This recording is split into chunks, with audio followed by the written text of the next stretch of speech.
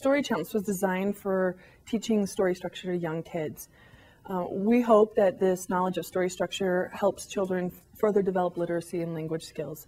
For example, we want kids to be able to effectively communicate personal stories about themselves, as well as um, listening comprehension skills and eventually reading comprehension.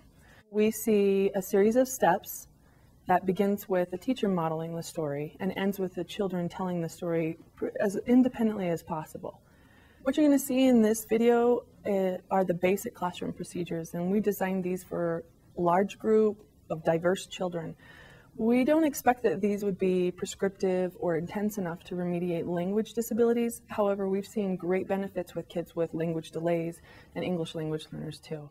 So in the first step, I model the story and then I place icons on the corresponding pictures. The purpose of this is to teach children that stories have an identifiable pattern. Um, we have modified the names of the parts of the stories just a little bit so it's easier for the children to say them and repeat them. But we do ask the children to say the parts of the story. If you're ready to play Story Champs, say yay, Story Champs! I saw everybody I got their stories. Boys and girls, you're going to have to tell this story yourself, so make sure you listen carefully, okay? Yesterday, David went to the doctor's office. David got a shot in his arm and a shot in his leg. David was sad because the shots hurt. Then he asked the doctor for a treat because he knew it would make him feel better. The doctor said, Sure, here's a lollipop. And after he ate his lollipop, David felt much better. Everybody, what part of the story is this? Get ready. One, two, three. Character. Very nice. What part of the story is this one right here, boys and girls? Get ready. One, two, three. Problem. Very nice. What part of the story is this one? Get ready. One, two, three. Feeling. That's right. That's right. That's the feeling. Let's try this one. Everybody, guys, look. Sorry to put in right. Okay, what part of the story is it? Get ready. One, two, three. Action! Beautiful. Okay, what part of the story is this one? It was the very last? Ready? One, two, three. Ending. I don't know. Let's try that one again. Everybody's voices. This is ending, okay? One, two, three. Ending. That was very nice. Before I ask the kids to tell the story themselves, I have to repeat it again. They need to hear it at least another time. So in this step, we play a game called Story Gestures. While I tell the story, they do gestures that correspond to the parts of the stories. This is incredibly important for young children and English language learners to be able to actively participate. We know from the effective teaching literature that active participation increases learning and decreases behavior problems. So we have embedded active participation throughout Story Champs. All right, boys and girls, we're going to play story gestures. We're going to play story gestures, okay? Yesterday, David had to go to the doctor's office. Okay, that's right, there's David. He's our character. The doctor gave him a shot in the arm and in the leg. That's right, his problem. That's the problem, right? David was sad because his shots hurt. Very good. I like how you guys are doing the gestures. He asked the doctor for a treat because he knew it would make him feel better. What's that? Action, action. There we go. Then the doctor quickly said, Sure, here's a lollipop. After David ate his yummy treat, his arm and his leg didn't hurt anymore. Very good. That's the ending. Good job, boys and girls. Very nice. In the team retell, the whole class acts as a team. This particular step is important because they're not quite ready to tell the whole story beginning to end by themselves. So they get the help from, they're working together to tell the story. And, you know, in later phases, they're going to tell it independently, but here they're still getting support and working together as a team to, to tell that particular story. In the team retell, I ask the kids parts of the stories, questions that will elicit parts of the stories. For example, I say, who's the story about? And I ask all the kids to form an independent but silent response. And then once everyone's got a response together and in their head, then I call on an individual student. And the individual has made a correct response, you know, I provide help as needed, but once we've got a correct response, I repeat it again so all the kids can hear it. And then I ask for a team response. So everybody responds together. Okay, your turn. Tell me. Everybody think about it, okay? Now it's quiet. This is this is your turn to think about it, okay? Think about who our character is. Who's the story about? Shh, shh, shh. What's his name? Daniel. Oh, that was the story. That was last year, yesterday's story. Who's this guy right here? Do you remember him? David. That's right. His name is David. Everybody say David with me. Ready? One, two, three. David. That's right. David is our character. Okay, everybody think about it.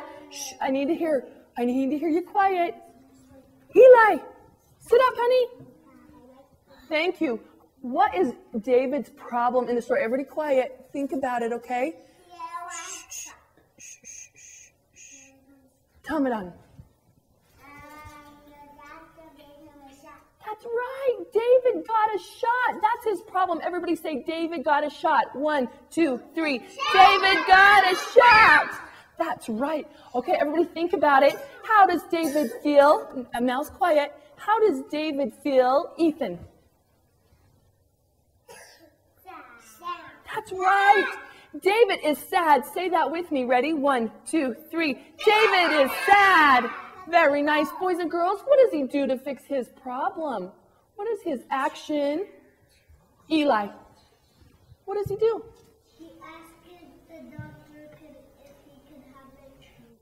That's right. Way to go, Eli. He asked the doctor if he could have a treat. So we're going to say that the action was that David asked the doctor for a treat. Okay, listen to me one more time. David asked the doctor for a treat. Say it with me. Ready? One, two, three. David asked the doctor for a treat. Very nice. Thank you. Okay, everybody think about it now. Mouse quiet. What's the ending to David's story? Okay, how does the story end for David? Karina. He asked the, the doctor. All right, that happened in this part of the story. But then what's happening in this picture? He ate it up. It's okay. You know it, Karina. He ate it up. Yes, ah, What does he have in his hand? a lollipop. That's right. He got a lollipop and then he felt. That's right. Very good, Karina. Okay, boys and girls, the ending is that David got a lollipop and felt much better. Okay, say that with me. Ready? One, two, three. David got a lollipop and felt much better. Okay, let's try it again. It was kind of long, okay? We're going to say David got a lollipop and felt much better. Ready? One, two, three.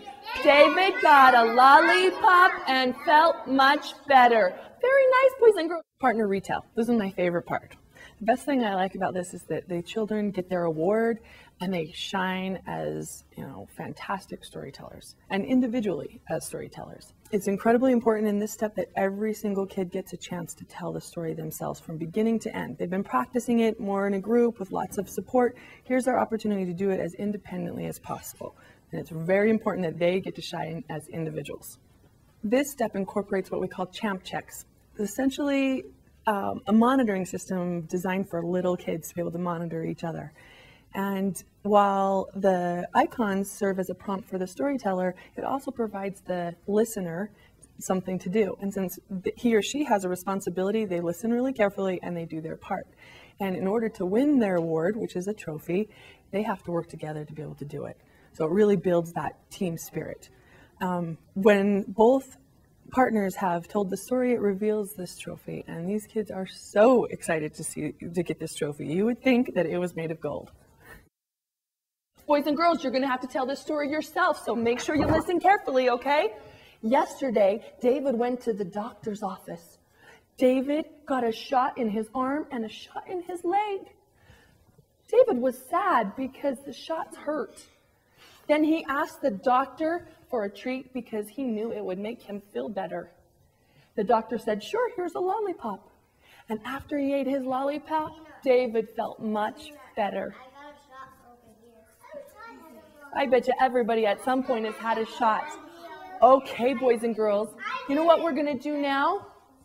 We're gonna we're gonna send you off to do your your partner um, with champ checks. Okay. Julio, you're going to go with Miss Katie, okay? Come here, Julio.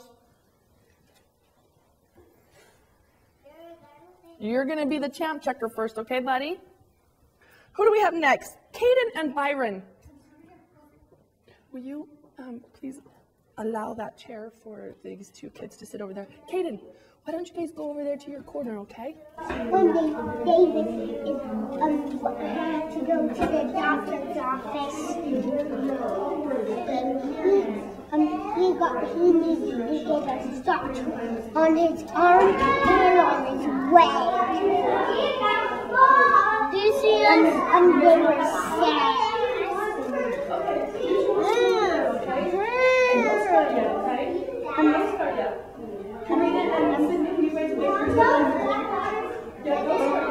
That's for the to the doctor.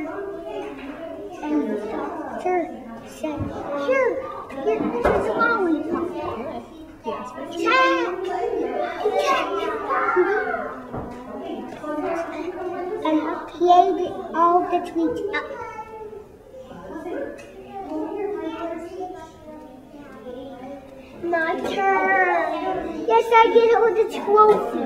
During the partner retell, I walk around to make sure that the kids who need the additional support are getting it. Because we're talking about kids of all language levels. Some are going to have skills to do this independently, and some are not. They're going to need this additional support. So I walk around, I praise, I provide the prompting as necessary. But it's really important that I and any other adults that are helping out are very positive and enthusiastic about these kids' storytelling abilities. Then he got in a shot. Yeah, check that. She said he got a shot. Then, then he feels sad because it hurts. That's right. Then he asked the doctor, "Can I have a lollipop?" Then, then he ate it up. That was good. He ate the lollipop. That's right. That was perfect. Very good champ checking. Okay, let's switch you guys. Okay, Sydney. Okay, you're the checker. Okay, Karina.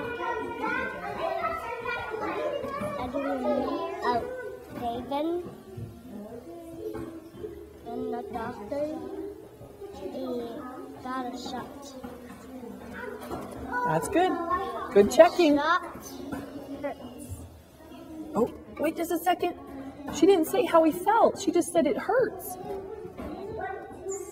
How, how did David feel about the shots? Sad. There we go. That's the feeling. Oh, yeah. yeah. What did he do to fix the problem? Asked the doctor to have a lollipop, Good. That's right. He did say that. and feel much better. Very nice. You guys are fantastic. Way to go. Nice champ checking. And you, Karina, will you guys show? Show, show. Oh, very good. Oh, here, show the camera what you guys got. All right, you guys can go back to the carpet now. Thank you so much, Karina. The champ ceremony finalizes this team spirit in the program. The kids hold up their trophies, give each other high fives, applaud for themselves and their friends, their teammates, and it is just so much fun to see how excited these kids are to be winners. Okay, everybody give yourselves a round of applause. All right, now tell me, if you guys are story champs, say yay, story champs.